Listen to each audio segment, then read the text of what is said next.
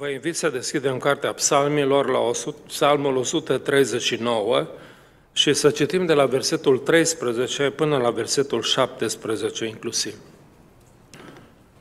Tu mi-ai întocmit rinichii, Tu m-ai țesut în pântecele mamei mele, te laud că sunt o făptură așa de minunată.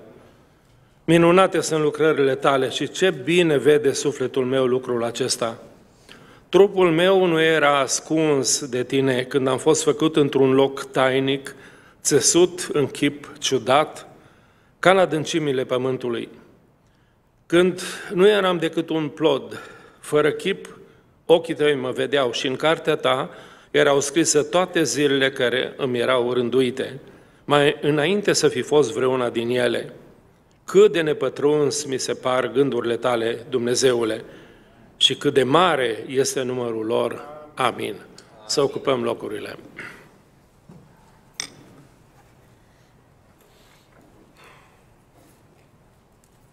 Cred că mai spus uh, ilustrația asta, dar uh, asta e boala bătrânilor, ei mai repetă încă o dată, uită că au mai spus poveștile. Uh, se spune că unul dintre profesorii unei universități unde mergeau studenții cu Gaudeamus când se termina facultatea, era un imn în limba latină pe care îl cântam. Cei mai mulți nu știam ce cântam, dar îl cunoșteam pe de rost și mergeam la profesorii care ne primeau. Se spune că unul dintre asemenea profesori i-a primit pe studenți acasă și spre surprinderea tuturor a dus o tavă mare plină de căni cu ceai. Dar fiecare cană era diferită de cealaltă. Una de pământ, alta de tablă, altele de uh, smălțuite, aurite, mă rog, fiecare era diferită de cealaltă. Și atunci uh, i-a dat să, le-a dat să servească ceai. Ce s-a întâmplat e că studenții s-au grăbit să ia cele mai frumoase căni, care erau mai scumpe, mai prețioase, și alea alte, ultimele de pământ, eu știu, de tablă, de zinc, ea, cum era în armată, ați băut șai din cănile alea de aluminiu? Niciuna nu era întreagă, toate erau tortite, mizerabile, unse. Mă rog, ultimele au luat ce a rămas, nu? Și atunci profesorul le-a spus, uite, m-am uitat la voi și am observat că v-ați grăbit să luați câinile cele mai scumpe prima dată. Și a spus, mă băieți, ascultați-mă bine, așa e în viața asta, toți avem o viață și ăsta e ceaiul, toți veți bea același lichid în seara asta. Dar unii aveți impresia că dacă lichidul ăsta e într-o cană mai grozavă, e mai bun. Nu e adevărat. Ci este exact aceeași rețetă la fiecare. Viața asta așa vine, zicea profesorul, în căni diferite. Viața este importantă, nu ambalajul ei. Ei bine, în seara asta fiind uh, printre primele seri din anul ăsta nou în care am intrat, nu știu de ce spunem noi nou, că noi suntem tot mai vechi, uh, nu? Zicem că anul nou. Um, Timpul curge, se duce prin viața noastră și, de fapt, noi suntem aceia care ne ducem și nu timpul. În seara asta aș vrea să ne gândim într-un mod foarte practic cum să folosim uh, ceaiul ăsta care ni s-a dat, viața asta care o avem, timpul care ne este la dispoziția noastră. Cum să-l folosim cât mai bine? Acum este foarte greu să-ți faci un plan pentru un an de zile. Ce o să fac eu cu anul ăsta? Nu?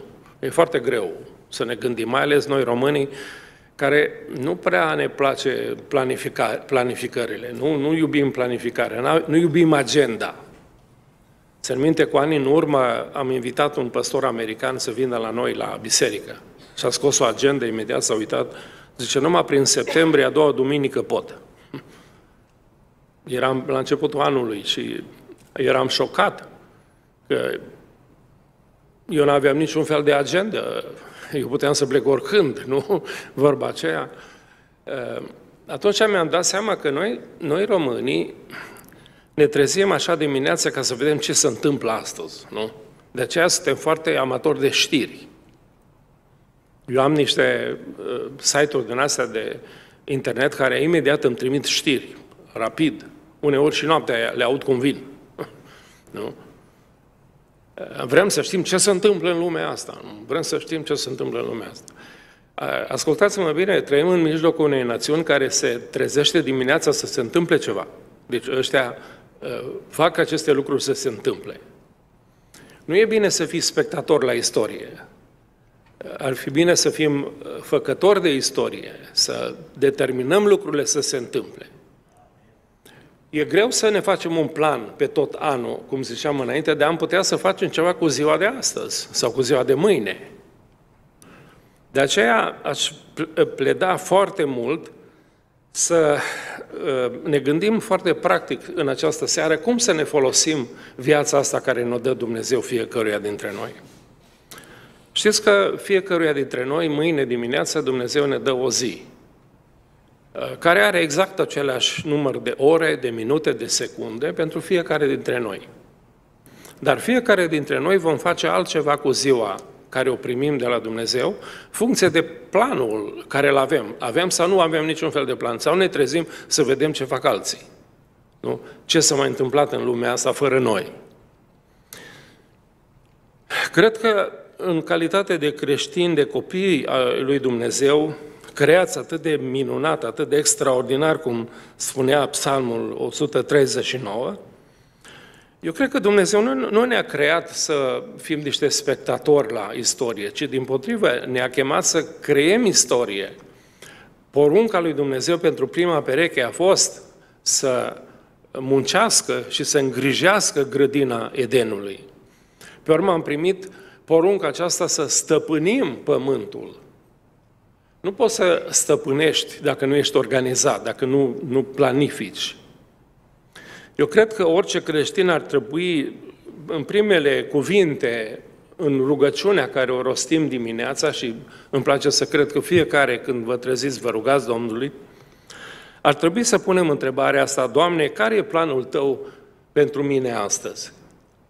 Revelează-mi cumva ce ai de gând cu viața mea în ziua de astăzi. Deschide mintea să înțeleg. Am să deschid și eu Sfânta Scriptură să citesc. Poate îmi vorbești prin cuvântul care mi-l dai astăzi. Dar vorbește și spunem, care e planul tău pentru astăzi, Doamne? Uh, oferă-te ca o jerfă vie Domnului și spune, Doamne, vreau să stau la dispoziția ta în această zi, să te poți folosi de mine. Poate este cineva descurajat care are nevoie de un cuvânt de încurajare. Poate este cineva care are nevoie de o rugăciune. Vreau să stau la dispoziția ta. Uh, vreau să fac voia ta, pentru că așa mă rog, să se facă voia ta precum în cer, așa și pe pământ. Ce aștepți de la mine astăzi, Doamne? Dacă ne-am trezit în fiecare dimineață cu asemenea întrebare, eu cred că Domnul este bun și ne va revela într-un fel sau altul ce așteaptă de la noi în ziua respectivă. Probabil așteaptă să fie mai de treabă cu soția, să vorbim mai frumos. Poate să ne oferim să facem noi ceai în dimineața asta, sau breakfast sau cine știe ce. Ba, chiar să ducem coșul la de gunoi la, la garbage de afară, că unii nici măcar asta nu ne asumăm o asemenea responsabilitate. Ce vrei, Doamne, de la mine astăzi? Care este planul Tău pentru mine astăzi? Știu că vrei să fiu mai bun, cu cine vreți să fiu mai bun. Descoperem omul, persoana aceea cu care să mă port cu toată bunătatea ta. Apoi, în al doilea rând, în funcție de răspunsul care îl primești de la Domnul, dar probabil că avem cei mai mulți dintre noi așa o minte uh, cețoasă, că nu înțelegem cam ce vrea Domnul de la noi, probabil pe la sfârșitul zilei eventual, sau a doua zi aflăm ce a vrut Domnul de la noi, eh, dacă ne gândim bine, nu? Următorul lucru ar trebui să-ți planifici ziua eh, de astăzi cu grijă. Este un lucru pe care eu îl cumpăr în fiecare an, cred că în ultimii 25 de ani în America. De la uh, American Express cumpăr o agendă de aia mare și o agendă mică. În fiecare an îmi vine prin poștă, plătesc o groază de bani, dar mi-am dat seama că e atât de valoroasă că e păcat să nu o am. Și o deschid în fiecare zi agenda aia mare la ziua în care mă aflu. Primul lucru dimineață, ce credeți că scriu în agenda aia? Care este textul din Biblie pe care o să-l citesc astăzi? Pe urmă, mă gândesc la următorul lucru care este foarte important pentru ziua de astăzi. Și așa, de la 1 la 10, probabil cine știe la ce număr ajung, îmi scriu cam tot ce cred eu că trebuie făcut în ziua respectivă. E adevărat că dacă citesc uh, astăzi ce am scris ieri, nu toate le-am făcut. Vom discuta despre asta imediat. Dar e bine să încep ziua scriindu-ți cam ce ai de făcut în ziua respectivă. În Psalmul 90 ni se spune să ne numărăm zilele. Eu cred că trebuie să ne numărăm și orele și minutele. Ce înseamnă asta? Să le folosim bine, să le folosim cu, să fie cu folos, să treacă prin viața noastră cu folos. Să nu trăim o viață la întâmplare, ci să trăim o viață planificată. Uh, sfatul numărul 3, care este foarte important, acceptă toate întrerup, întreruperile cu înțelepciune. Uh, primul lucru care l-am învățat în viața mea de a conduce o asemenea agenda este să nu fii rigid cu agenda ta niciodată. Pentru că întreruperile sunt uneori intervențiile lui Dumnezeu. Uh, ce îmi place la viața Domnului Iisus Hristos, dacă o studiați, veți observa că este foarte des întrerupt din ceea ce face. Și nu se supără niciodată.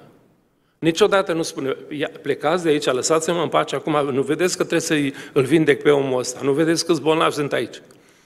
Nu știu cum face el, dar el are timp întotdeauna pentru oricine. Nu respinge pe nimeni.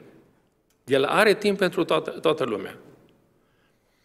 Uh, Domnul Iisus nu se supără pentru întrerupere. Uh, ucenicii s-au enervat de-a binele, au venit cu copii mici, auzi, Domnule, să-i binecuvânteze. Prunci mici, care plâng, care fac larmă, nu? Ucenicii s-au supărat, s-au enervat, spune Sfânta Scriptură, ăsta e textul Bibliei, s-au enervat și i-au, i-au trimis de ia plecați de aici, Domnule. Știți că Domnul Iisus s-a supărat de vreo câteva ori în Sfânta Scriptură, acum s-a supărat pe ucenici, s-a supărat pe ei, s-a mâniat pe ei. How in the world îi trimiteți pe copiii ăștia de aici? Da, Domnule, dar te-au întrerupt. Tu ai un program. Și Domnul spune, eu am, programul meu este să fac voia Tatălui și să aduc mântuire oamenilor, nu? I-a luat în brațe, i-a binecuvântat pe copiii aceia. Este extraordinar uh, viața Domnului Iisus Hristos, care niciodată nu vede întreruperile altceva decât lucrarea lui Dumnezeu. Când te întrerupe Dumnezeu din agenda aia, înseamnă că Dumnezeu are altceva pe agenda lui de lucru decât ai scris tu. Vine telefonul ăla care te ține două ceasuri. Nu vi s-a, te- vi s-a terminat bateria la telefon. în timp ce vorbeai cu cineva, mie mi s-a terminat. Păi am început să pun, you know, sârma aia și vorbeam cu el cu telefon, cu cablu. nu? Domnul nu se supără pe aceste întreruperi, el le consideră normale.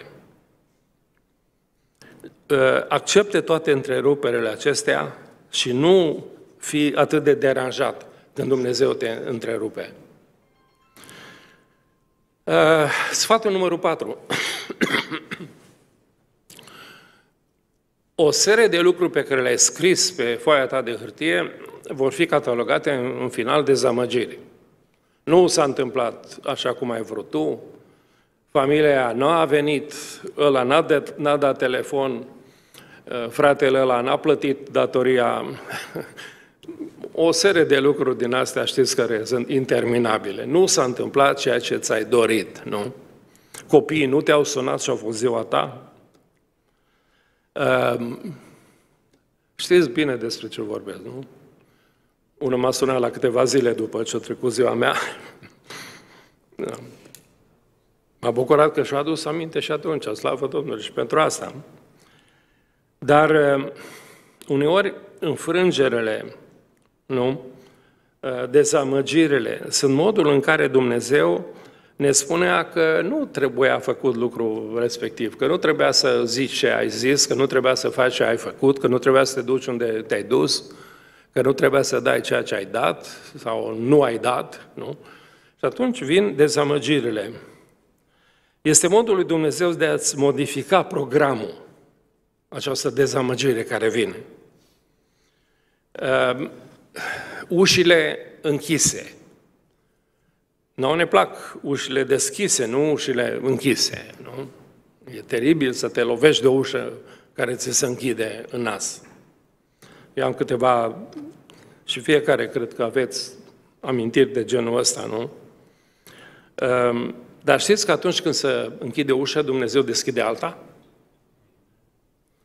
Și am citit un uh, cuvânt foarte înțelept care mi-a plăcut foarte mult. Zice, când uh, se închide o ușă și până se deschide alta, roagă-te pe coridor.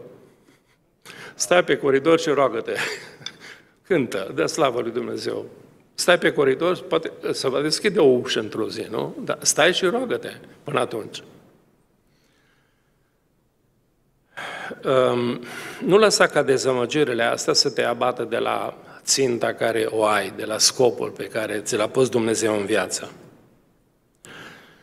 Uh, dacă tot am vorbit despre ușile deschise, fii atent la ele, pentru că ele sunt oportunități. Știți că uh, prin viața fiecăruia dintre noi, căruța istoriei trece o dată, de două, de trei ori, cine știe, alții sunt mai norocoși, trece de mai multe ori. Dar ar trebui să fii atent atunci când se deschide ușa acestei oportunități, nu? Și să intri pe ea, să intri pe ea. Era o poveste foarte simpatică, au venit inundațiile mari peste tot în România și un frate de-a nostru a urcat pe un acoperiș sus pe casă, s-a rugat să-i trimită Domnul o mână de ajutor, să-l salveze de acolo. Și a venit o barcă cu câțiva oameni care l-au spus, nu, el, Domnul, Domnul să-l scape pe el de acolo. Pe urmă a venit un elicopter, nu, Domnul să-i scape, el e credincios și vine Domnul. Și s-a necat. Când a ajuns în fața Domnului, a protestat și a zis, Doamne, dar nu m-am rugat eu, n-ai promis tu că vii și da, a zis Domnul, dar ți-am trimis o barcă și n-ai vrut. Ți-am trimis un elicopter și nu ai vrut să, să urci în el, nu? Ehm, ascultați bine, s-ar putea ca intervenția Domnului în viața ta să fie prin elicopterul ăla sau prin uh, barca aia de salvare care vine, prin fratele ăla care îți bate la ușă, prin chiar fratele ăla care nu-i prea simpatic, nu? Care poate să-ți dea o mână de ajutor, nu? Domnul lucrează prin oameni. Nu? Lasă-te ajutat de ei. Nu? Nu emite pretenții din astea nejustificabile. Uh, fiecare zi ne oferă o nouă oportunitate. Uh, Pavel, în Faptele Apostolilor 17 cu 17, uh, predică în piață și o serie de oameni care sunt acolo nu prea îl bagă în seamă. Ce, ce vrea să spună palavragiul ăsta? Aha, despre învierea morților. L-au lăsat și au plecat. Dar Pavel a văzut niște inimi deschise de acolo. Și a fost un Dionisie Areopagitu care a primit Evanghelia și o femeie numită Damaris. Au fost niște oameni totuși în mulțimea aia de oameni cu uși închise, nu? Au fost câteva uși deschise. Caută oportunități de slujire, de a răspândi Evanghelia, de a fi bun cu cineva, de a da o mână de ajutor cuiva.